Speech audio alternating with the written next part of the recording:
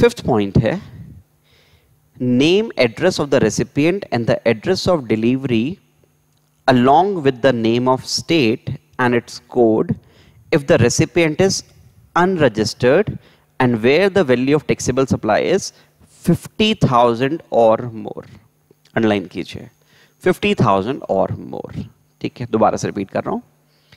देखिए, अगर किसी भी रजिस्टर्ड पर्सन से जो उसके कस्टमर्स हैं, जो उसके कस्टमर्स हैं, अगर उसके कस्टमर्स मैं इसको और एग्ज़ाम्पल से क्लेम क्लियर करता हूँ, ठीक है? लेट से ये एक शोरूम है। This showroom is based in Mumbai ठीक है? ये शोरूम है मुंबई में बेस्ड और इसके पास ना तीन तरह के अलग अलग तरह के कस्टमर्स आते चलो चार ले लेता हूँ। इसके पास चार अलग अलग तरह के कस्टमर आते हैं। ए बी सी और डी ठीक है? चार कस्टमर्स आ गए। फ़र्स्ट कस्टमर रजिस्टर्ड है। फ़र्स्ट कस्टमर रजिस्टर्ड है और ये वाला कस्टमर जो चीज़ें खरीद रहा है, वो दो लाख रुपए की चीज़ें खरीद रहा है। सेकेंड कस्टमर बी कस्टमर है ये A B C D it's a showroom based in Mumbai जो मिस्टर बी हैं, ये भी रजिस्टर्ड है और ये चीज़ें खरीद रहे हैं सिर्फ़ दो हज़ार रुपए की टू थाउज़ेंड रुपीज़ की। फ़र्स्ट वाला कस्टमर काफ़ी ज़्यादा चीज़ें खरीद रहा है सेकेंड वाला कस्टमर सिर्फ़ दो हज़ार की चीज़ें खरीद रहा है। बेटा, पर दोनों ही तो रजिस्टर्ड है ना? ये दोनों ही रजिस्टर्ड है। जब ये शोरूम ए को बिल देगा और बी को बिल देगा, दोनों को जब अपने अपने टैक्स इनवॉइस देगा तो उस पर रेसिपेंट का जीएसटी आयन नंबर भी लिखेगा और जीएसटी आयन नंबर लिखेगा तो नाम और एड्रेस भी लिखेगा। ठीक है, दोनों के नाम एड्रेस और जीएसटी आयन नंबर भी लिखेगा, क्योंकि ए भी रजिस्टर्ड है, बी भी रजिस्टर्ड है, इन दोनों को आईटीसी चाहिए, क्योंकि अपने बिज़नेस पर्पस के लिए, मैं एज्यूम कर रहा हूँ, ये अपने बिज़नेस पर्पस के लिए चीज़ें खरीद रहे थे तो ए और बी को बोथ बीइंग रजिस्टर्ड इन लोगों को आईटीसी चाहिए तो ये दोनों ही बिल मांगेंगे, और उस बिल के ऊपर ए और बी का भी डिटेल्स लिखी होनी चाहिए। ए का नाम एड्रेस और जीएसटीआई नंबर क्योंकि दोनों ही रजिस्टर्ड हैं, ये बातें हमने साफ़ पढ़ी हैं पॉइंट नंबर फोर में। ठीक है पॉइंट नंबर फोर में हमने पढ़ी name address and GSTI number of the recipient ठीक है, आपके पास नोट्स हैं, आप वहाँ पर देखिए, ठीक है। दूसरे केस में सी और डी ये जो दोनों कस्टमर्स हैं दोनों ही अनरजिस्टर्ड हैं। सी और डी सी और डी दोनों ही अनरजिस्टर्ड हैं, ठीक है।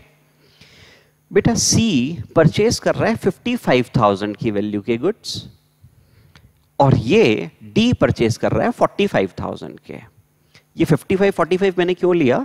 एक को मैंने पचास हज़ार से ज़्यादा लिया, एक को पचास हज़ार से कम लिया। ठीक है? जो सी है, जो पचास हज़ार से ज़्यादा की चीज़ें खरीद रहा है तो हम लोग जब इसको बिल देंगे तो इसका नेम एड्रेस भी लिखेंगे। क्या इसका जीएसटीआई नंबर भी लिखेंगे? सर, वो तो होगा ही नहीं, क्योंकि वो तो अनरजिस्टर्ड है। तो उसका नेम और एड्रेस भी लिखेंगे। बट जब डी को बिल देंगे क्योंकि ये फिफ्टी था ही इज़ अनरजिस्टर्ड वो भी फिफ्टी थाउज़ेंड से नीचे की चीज़ें ये खरीद रहा है, उस केस में जब हम इसको टैक्स इनवॉइस देंगे, क्योंकि जीएसटी तो हम सबसे चार्ज करेंगे, क्योंकि हमारे लिए तो शोरूम के लिए तो सप्लाई है। शोरूम तो टैक्स इनवॉइस ही देगा सबको ए को बी को सी को डी को ए और बी को देगा, उनके जीएसटी आई नंबर नाम पता ए और बी का नाम पता और जीएसटी आई नंबर लिखकर बी को देगा सिर्फ़ नेम और एड्रेस लिखकर, ठीक है? सॉरी सी को। और D being unregistered D being unregistered और पचास हज़ार से ज़्यादा की वो चीज़ें खरीद नहीं रहा है तो यहाँ पर नेम और एड्रेस लिखना इतना ज़रूरी नहीं है। हाँ अगर डी खुद बोले, सर, मेरा नाम और पता लिख दीजिए, मुझे अच्छा लगेगा बिल पर लिखना तो लिख सकते हैं अदरवाइज़ कोई ज़रूरत नहीं है, ठीक है? तो दोबारा से रिपीट करता हूँ रजिस्टर्ड वाले जो वो लोग हैं ए और बी इनको तो पक्का टैक्स इनवॉइस दो, इनके नाम एड्रेस और जीएसटी नंबर लिखकर।